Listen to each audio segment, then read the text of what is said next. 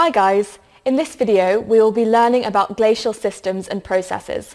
We will be learning about how glaciers act as natural systems, glacial budgets and finishing with an exam style question. As we learnt in the first video, a system is an assemblage of interrelated parts that work together by ways of some driving processes.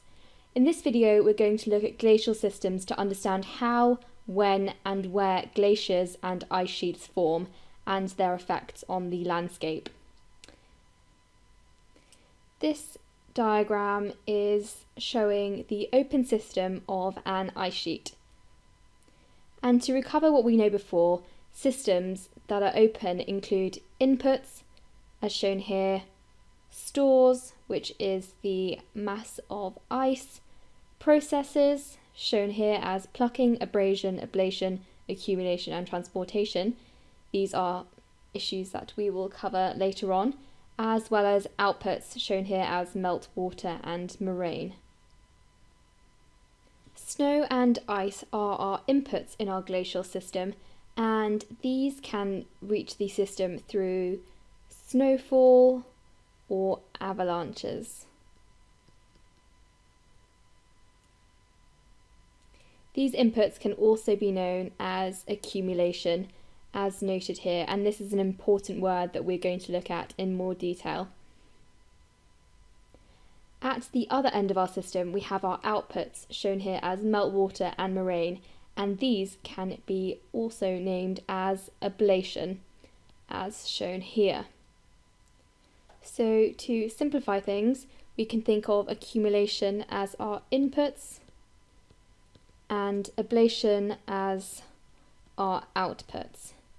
And through this system, our inputs are transferred down the valley under the influence of gravity, which is pulling it down the slope, and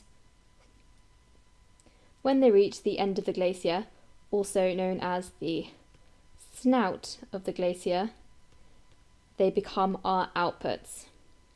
So the inputs is the mass gained by the glacier and our outputs, also known as ablation, is the mass that is lost. Now that we've covered what is meant by accumulation and ablation, we are going to look at glacial bu budgets because the glacial budget is dependent on the balance between inputs and outputs. So the glacial budget can be defined as the balance. Hi guys! To continue watching this video and unlock hundreds of other super concise and exam board specific A-level geography videos, just click the button.